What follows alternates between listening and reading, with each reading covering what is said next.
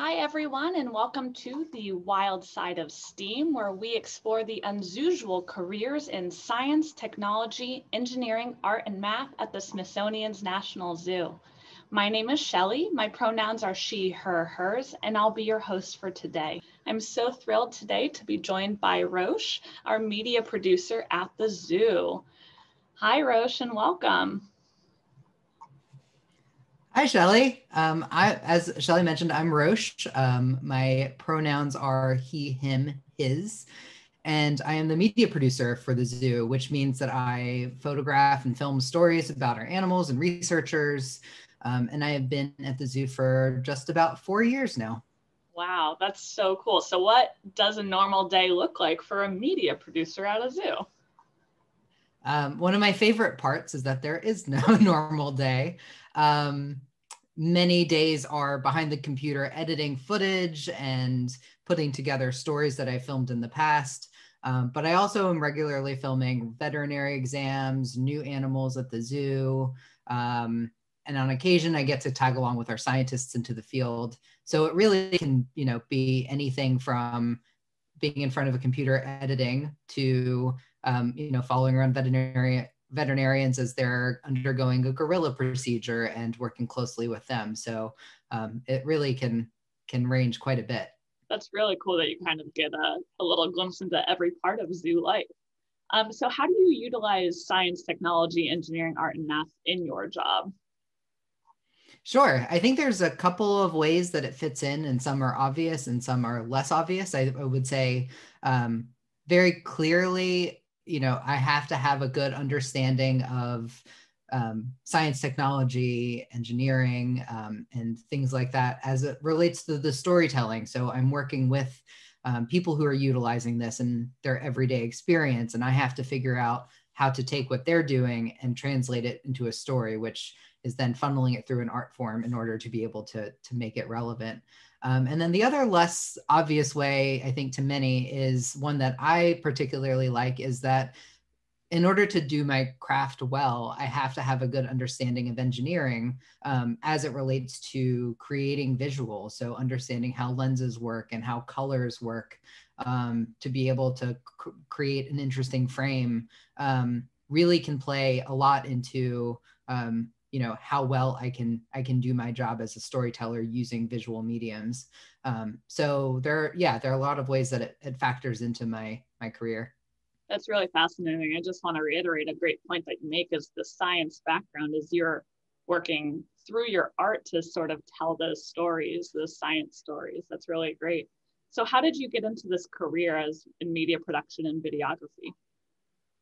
Sure. Um, so I started off like I'm sure many people, um, just enjoying nature documentaries and um, you know just always gravitating towards animal stories, which I think is probably a common thing amongst everyone at the zoo. Um, but as I started going into biology in undergraduate and and studying more and, and doing more research, um, I realized that communications was a big part that was missing to me. That you could study an elephant over the course of its lifetime all you want, but in order to save it, you have to make it relevant to the people who need to be engaged to save it. So um, I used my interest in photography at that time and just started applying it to research. And um, from there, I pursued a degree and um, just gained more experience and eventually went into filmmaking. That's so interesting that you started going that science route and then decided that your passion for photography and film and decided to follow that instead. And you're still using, like you said, that science and having an impact on wildlife. Um, so can you talk a little bit about how your career and your job help still help the zoo's mission in saving species? Sure. Um, so I think one of my favorite parts about this job is that it can be made like any film can be made for any number of audiences. And so while we have our social media audience um, that can you know hopefully inspire people to care about animals in some capacity whether that's learning about a new animal or getting to learn more about how an animal engages with its environment or the things that threaten them. But it can also mean that i can make films that we are making for um, people who are decision makers that can impact the wild component, um, and that can be through telling stories about a community that might have the tools after they learn about something or after we help them solve something or if the public knows how to support what they're doing they might be able to make choices that can save an orangutan in a palm forest for example. Um, so it can really run the gamut of of who we can talk to. And fortunately i get a direct line to them with every video that i make. I love that that you're taking all this important research and information and giving it to the public. That's great. So what is the coolest project that you've gotten to work on? But gotta be hard. Uh, so this is this is always the hardest question um, because it really changes from project to project. Um, every time you tell a story you become obsessed with that story because you're trying to learn everything you can about it.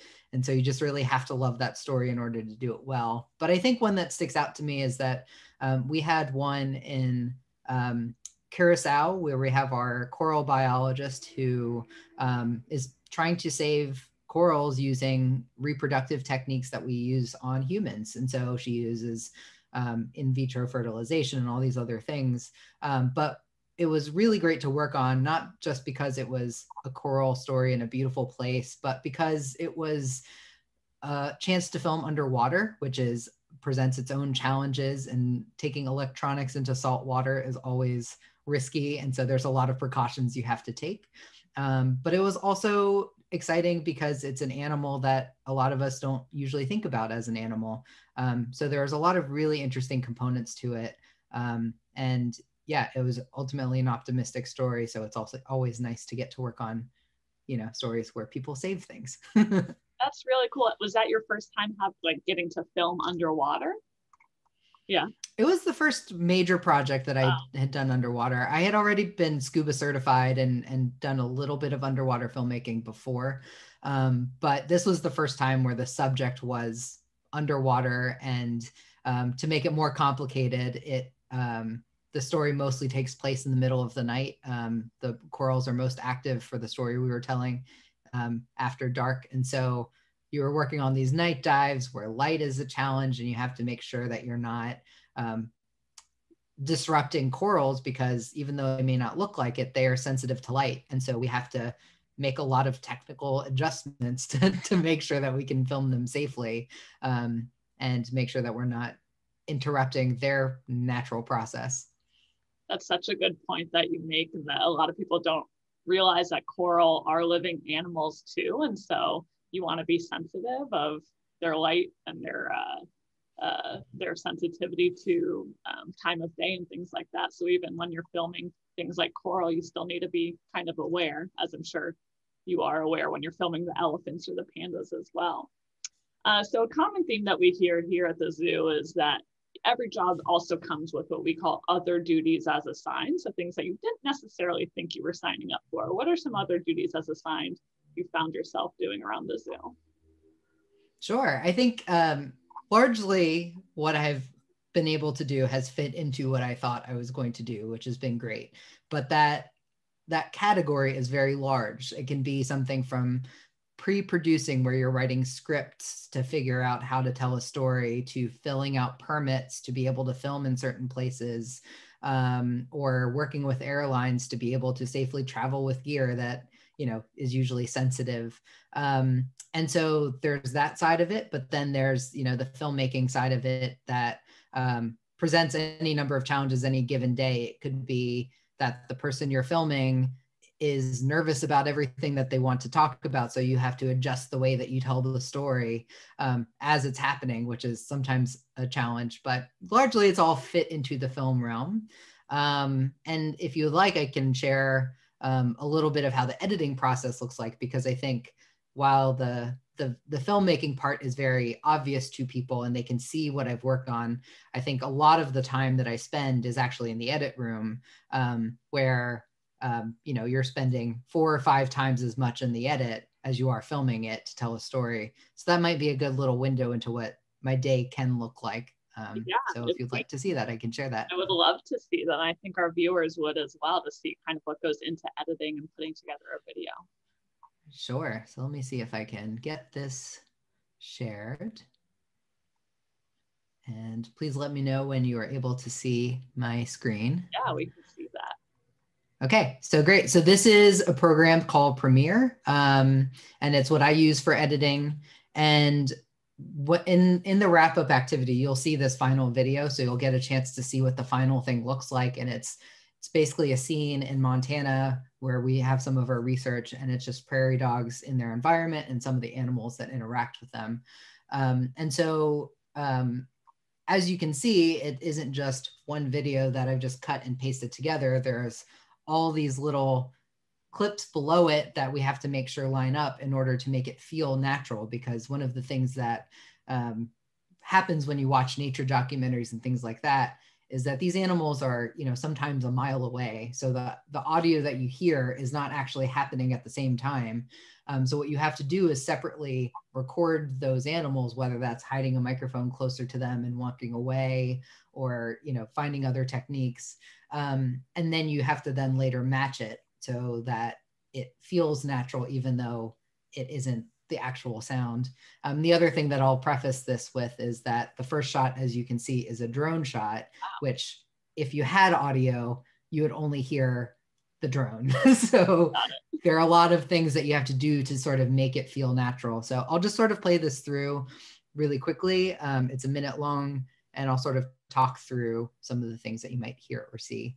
Wonderful. So here's the prairie dogs running into their little hole. And I'm not sure you'll be able to hear the audio through this, but when you see the final video, you'll be able to see it. Um, but this top line here is all the video clips, and everything below it is all the audio files that we're using to make it look and sound natural. So when you watch this, you'll hear prairie dogs chirping in the background, which is a constant sound in the prairie. There's just, you know, for miles, you just hear little chirps. Yeah. Um, and so, yeah. Wow. And you can sort of see here that there are sounds coming in and out, but when you play it back, you may not hear or notice those those cuts. So how close were you like to say those shots of the snakes? How close were you actually to the snakes?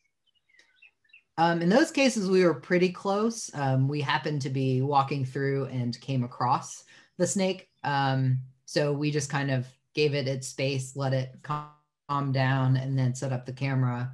Um, and we were at a safe distance. And that is a snake that is not dangerous to people. So it wasn't a rattlesnake or anything like that. So fortunately, it was one that we still needed to respect its space and let it move freely, but also was something that we didn't feel like we needed to immediately run away for our own safety. So we could just sort of wait and, you know, 20 minutes later, it was comfortable and moving around naturally. So this program that you're showing us is how you sort of edit and put them together. Can you talk a little bit about the things that you think about when putting and stitching these clips together and the audio that you use, maybe the background music that you choose as well, how you make those decisions? Sure. Um, so there's any number of choices that you can make when making a video, which is what's really another component that's really exciting. If you and I had the exact same footage, we would come up with totally different results. I think everybody has their own preferences and styles. Um, but it really goes down to every step of it. I mean, in pre production, you're making choices, which means that before you're actually shooting, how you're planning it. So that can be the type of camera you're using, or the lenses you're using, or um, the season that you're filming in, um, that you're choosing to tell your story. Um, but then when you're filming, there's just millions of choices that you can make. And that can be, uh, you know, from where you're positioning the camera and how often you're moving it around so everything doesn't look like it's coming from one angle because if everything's in one angle then you have a hard time editing from one shot to another. So you have to find different positions to film the same thing um, and make sure that you're you're sort of doing that. And then the most amount of choices happens in the edit where um, you have you know this the footage that i just shared was filmed over the course of three different trips to montana. We were filming a lot of other things but after those three trips, I pulled footage from each of those to create this one scene from this one prairie dog town um, that exists in real life that we just sort of needed to um, gather all the footage over course of time to, to be able to see the things we're able to see. Um, and so that, you know, you end up with, you know, tens of hours of stuff that you're trying to condense down to a minute. And really, you can't you can make as many number of choices as you want and the music can help make it feel like a one one good piece or it can make it feel very you know put put together or not um, depending on the style of music. So if i put heavy metal to this that would definitely you know create a different vibe to this that might be more in the comical reign. And you know you could make a video with like fun facts popping up that feels very different to a very specific audience um, but usually since we're talking to so many people i try to pick music that fits into the environment. So stuff that's you know calm if it's in that sort of a scenario or if it's a scene where we're running through we had a shoot where we're running through a jungle for most of the day and it was very hectic and and things were you know very chaotic. So i was trying to find music that captured that energy. So it was a little bit faster paced. So i try to use it to support what you're already seeing rather than try to make someone feel a certain way um, in a very um, over the top kind of way which might make more sense in a hollywood film but maybe less so when you're trying to enjoy you know prairie dogs in Montana. but I love that those little decisions help produce and tell the story, right? And that's where sort of your artistic eye comes in. I love that. Um, so, what sort of special classes or schooling did you need or take to help you in this career?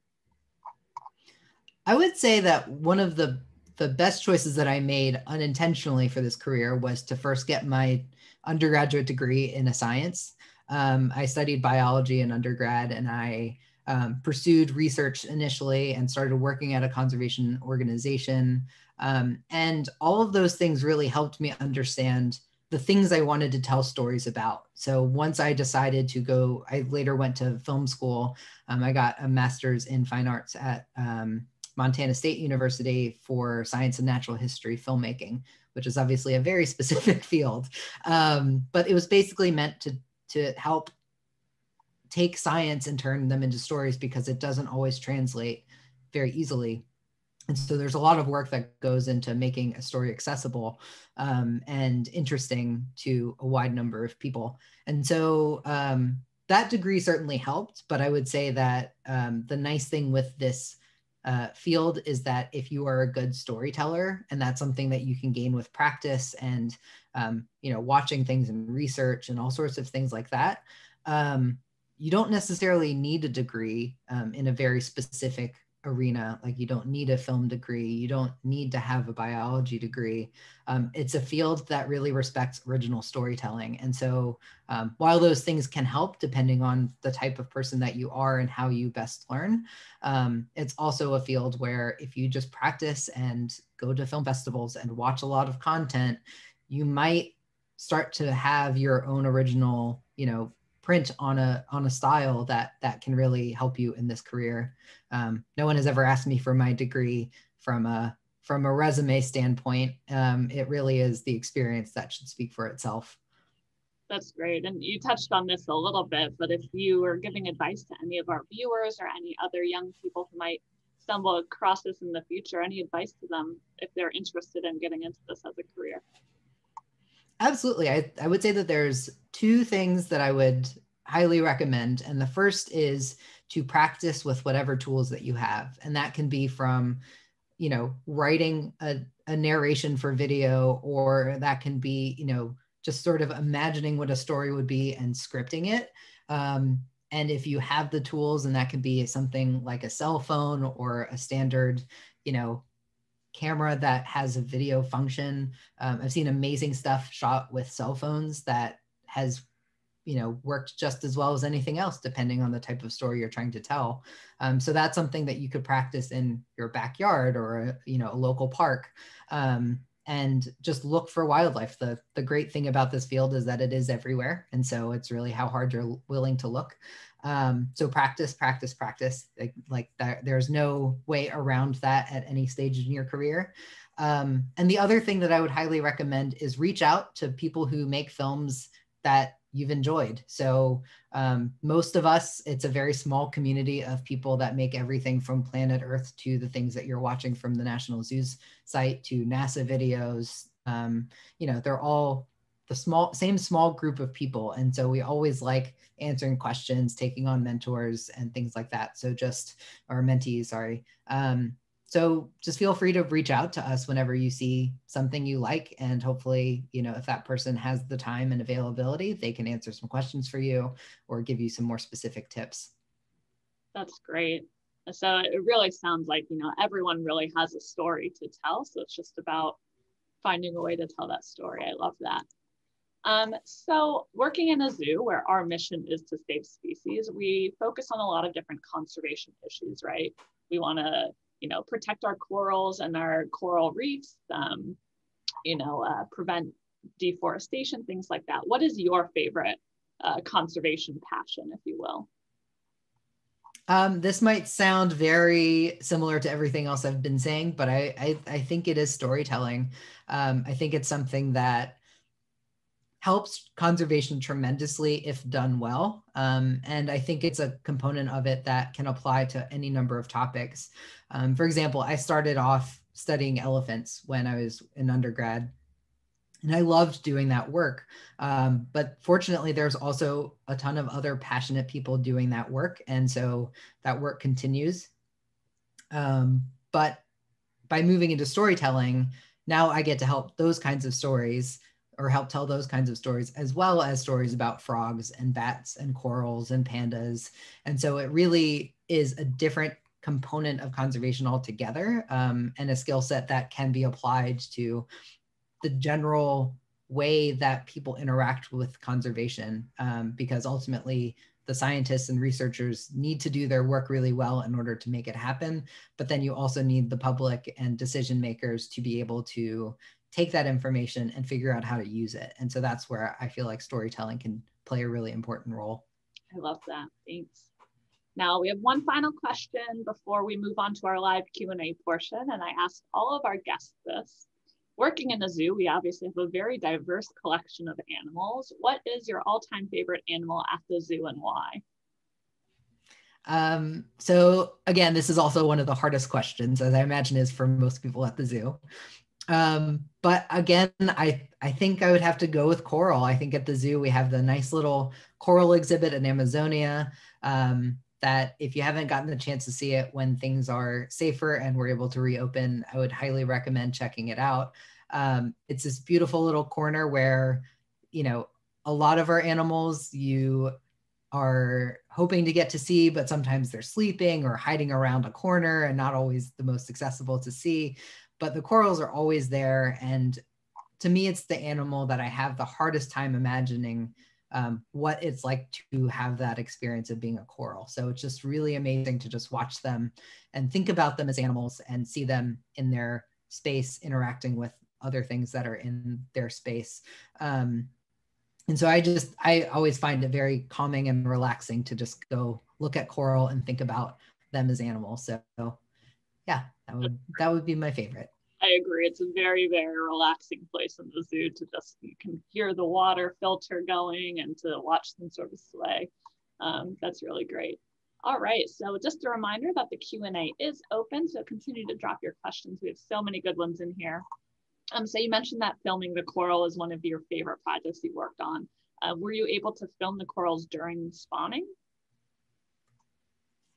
Um, yes and no. So this question is one of the many decision makings or decision making processes that we had to go through. So I was filming for eight days, and the window for spawning, which is what we were trying to film, is about 14 days over the course of two months. Sorry, excuse me. Um, and so it was a little bit of a gamble uh, as to when it was going to happen. So we filmed every night. We got lots of beautiful coral content and um, footage with our scientists, and we filmed the same places during the day so we could see a lot of the life that goes around it. Um, but the entire time we did not get the spawning, and then we had to come back home. And so what I ended up doing was I spent two days training our scientists with cameras that they had. Um, to use it well, to film certain shots. I created a shot list for them. I created a set of questions for them to consider to help them understand how to best capture it. And fortunately, that paid off. And when it did eventually spawn, they were there and they captured it. And so, um, so they constantly write back and they tell me how much they're filming now, which is also really great as a storyteller, knowing that more people are trained to film things well is going to only help people tell more stories about what they're working on. So I, while I would have loved to have filmed it myself, I'm also really excited that the scientists were involved with that process. That's awesome. We're all on the same team. So if you can share that knowledge, that's great. Um, where can people see some of the films that you've worked on? Is it at the zoo's website? I did mention in our little blurb on the website that you are an award winning uh, filmmaker. Yeah, so most of the content is on the zoo's channel so that's facebook youtube um, many much of it can be found on the website. Um, and then in some cases some of our more in-depth storytelling we'll submit those to film festivals. Um, so those are anywhere between five and ten minute long short films. Um, and we usually do two or three of those a year. And those will screen at some festivals throughout the country. So they've screened at the DC Environmental Film Festival here at, in DC, but it's also screened at um, some festivals that are on tour, like Wild and Scenic Film Festival. They take their films on tour, so that's screened, um, you know, throughout California and the West. Um, but also, I think recently they had a screening. Um, I guess it was this past March, February or March they had a screening of our coral film at the South Pole, so that was really exciting um, to have a film screened in Antarctica. Antarctica. so it's yeah. That's really great. Um, we have a question in the chat as well. Did anyone inspire you to get into filmmaking? Um, that's a great question. I think um, one of the things that I was fortunate enough to do was surround myself with a lot of um, science literature growing up. Like I read a lot of E.O. Wilson books and things like that. I had a great biology teacher in high school. Um, and to be honest, one of the challenges is diversity in the field. There's um, not a lot of people who are um, from South Asian descent, um, which is where my family's from. And so there was some certainly some obstacles of figuring out how do you find the right resources to get in because it can be a very expensive field to get into. It's a lot about who you know. Um, but fortunately, that's been changing quite a bit. So, um, as I mentioned earlier, as my advice, just reach out to people. That's something that I was intimidated by by when I first started because I didn't see people that looked like me or had similar experiences but i think once you start reaching out to people there's there's much better attempts to correct some of those problems but also there are way more people willing to help um, find a spot that um, I, I wasn't aware of before i started. So i would say um, yeah i would say it was a, a, a lot of different people but i would say my biology teacher in high school was a big influence on the path that i chose and the topics i became interested in that's great. I love that you mentioned representation. Of course, that's very important, especially in STEAM and um, in every career that we encounter. Um, we have a great question in here. Have you ever been scared while filming? um, absolutely. I would say that if I if I do everything as well as I can while planning a shoot, the the ways I can be scared are hopefully pretty minimal. But um, it really is case by case because you're working with wild animals in a wild place. So, um, yeah, I, you know, we we try not to take risks. There's one story where I can that comes to mind that I was particularly scared, and I think this will be fully apparent um, to all of you as we are in the time that we're in now. Um, a few years ago, I was working on a story in Myanmar with some of our global health scientists, and they're studying things like um, how pandemics can arise and where viruses live and how people interact with them to try to reduce some of those interactions and hopefully prevent a lot of what we're experiencing now. And so we were in this one cave. Um, we, they were basically taking blood samples of bats um, to try to identify any potential viruses that they might carry. So we're in these hazmat suits and totally wearing the correct PPE so we're as safe as possible.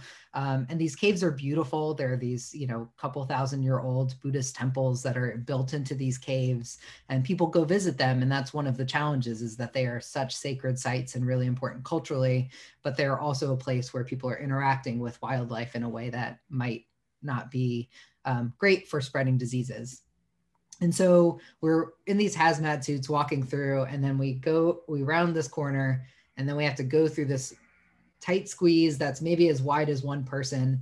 Um, and it's almost 100 degrees and humid.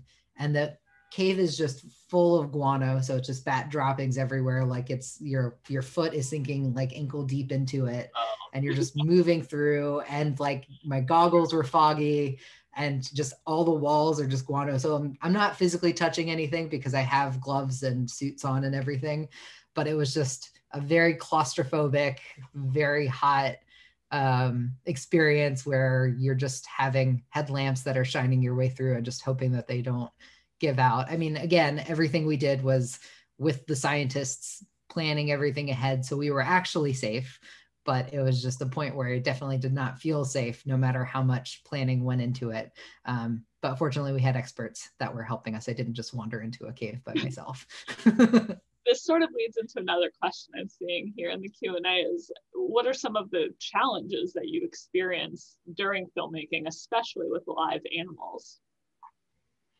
I think there's a couple of ways to answer this. I would say um, you have to be prepared for anything, and that can be really challenging because you're focused on carrying an electronic device that is very expensive through a place that you don't want to drop it. You need to make sure everything works. Um, you're worried about how things look and sound on the camera, but then you're also running and there's roots that you can trip on. Or if you're in the water, there's salt water that you need to make sure needs to stay out of your equipment and that everything is as safe as possible. Um, so it's sometimes hard to pay attention to your surroundings because you're so focused on the camera itself um, and what you're trying to do with it. Um, and then I would say from the zoo side, it's uh, a, a very different challenge where, um, as I, I think the keepers can attest to, it's every time you're trying to film, an animal decides that it wants to lay down or hide or start pooping. And so you really, you might have to be very patient to get the 10 second shot that you need for a video. It, sometimes that can take three or four days of going back and forth to the same spot and just waiting for the right moment. Um, I had an experience a couple weeks ago where we were trying to get footage of our bison, and one of them just refused to stand up for the every time I went in to go film. So it took several days for me to get that one shot that we needed and that was just a photograph so didn't even need moving images but it was it was hard to do that so if there's one yeah. I've taken away from my career at the zoo, it's that you can't force these animals to do anything. We're on their time. Absolutely.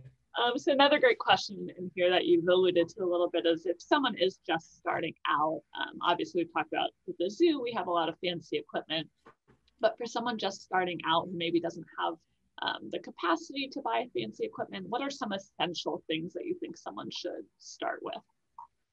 Equipment. That's a great question. Yeah, that's a great question. I think, you know, unfortunately, it is not entirely free. Um, that's uh, that's one of the challenges. But um, I would say there's two routes to go. There's or to consider. One is there's parts of the career that are not dependent on a camera. Um, so that can be from producing, and that can be from you know what you're doing as a producer is helping plan a shoot and organizing a story and making sure that everything goes through. So that can just be like you know if you're in your backyard how would you go about a shoot? And um, you know how would you tell a story about a hawk that frequents your neighborhood?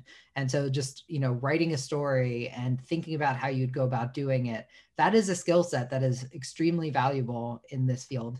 Um, and there are entire jobs that are just doing exactly that. Um, same with editing there you know you could be an editor where you have software so you would might want to look into software to play with. Um, but there are sites where you can download free footage um, to just play with and start you know gaining those skill sets in storytelling. But i would say if you're interested in the filming component of it which i'm guessing many people are um, a cell phone does wonders. I, I think you just have to figure out how to use that tool to your advantage. So you may not be able to zoom into things if you're trying to film a wolf that's two miles away. So you might have limitations like that. But then what you can do is think about the story from the stand, standpoint of a camera. How can you turn the camera on yourself to help narrate a story? So it doesn't matter if you can see it very well in the background that there's, you know, a hawk or a wolf or whatever it might be that you're trying to tell a story about, but instead you're part of that story and helping tell it. So a cell phone is definitely a great place to start. I would say the next um, affordable option are um, SLR cameras. So your standard um, cameras that has interchangeable lenses, which are not cheap, but I would say that they are way less expensive than some video cameras that um, many professionals use. And to be honest, many professionals use those cameras way more often than you might guess. Um, there's, I have some friends that worked on um, Planet Earth, for example, and they had um, many instances where they had just rigged up cameras. They had spent about one to two thousand dollars on um, to get many of the shots that ended up in in in the video. While a typical video camera might cost ten thousand dollars plus. So so really look at still cameras because a lot of them can do really great video now. That's really great. Now you mentioned talked a little bit about this, but there was a question of whether you're a director, but it sounds like you're a director, you're a filmmaker, you're a producer, and you sort of wear all of the hats that come with that.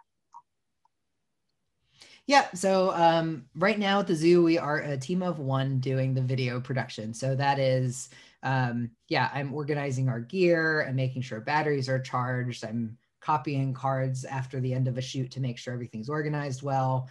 Um, I'm planning shoots, doing permits, filming, editing, doing sound mixing, animation when things call for it. So it's definitely, you know, depending on the type of work you want to do, it um, could mean that you get to specify, or it means that you do a little bit of everything.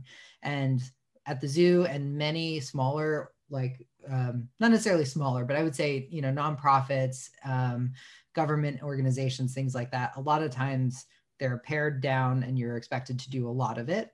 Um, and if you are working at something larger like the Smithsonian Channel or um, things like that, then you might get to be just a cinematographer or just an editor um, and things like that. So um, who knows what the future holds? You know, in in five years time 10 years time we might be looking for new people to bring on and turn this into a team.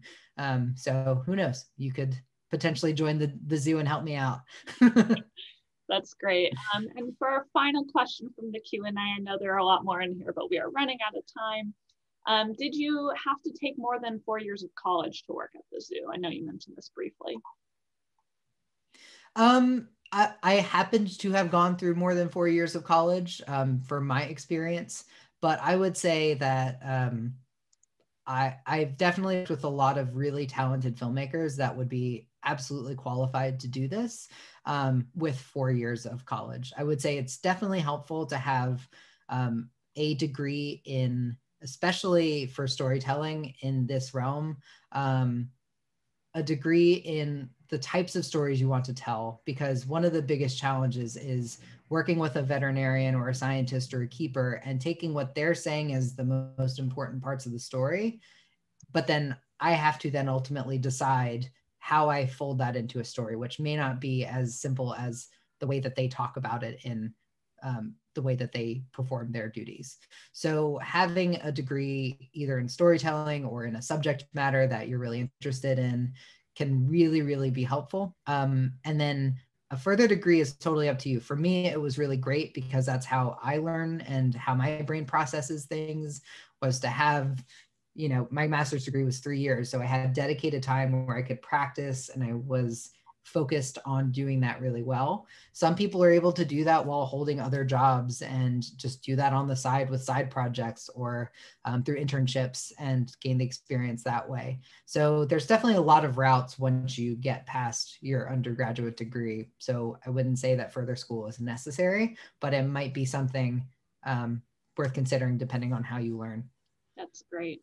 Well, Rosh, thank you so much for joining us today for the Wild Side of Steam. I learned so much about storytelling and videography um, and how you're taking these the scientists and their research and their work and making it digestible for the general public and all of our zoo guests. I love that.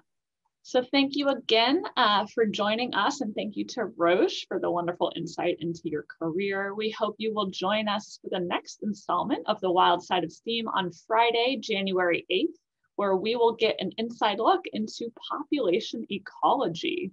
So on behalf of the Smithsonian's National Zoo and Conservation Biology Institute, we hope you have a wild day. Bye.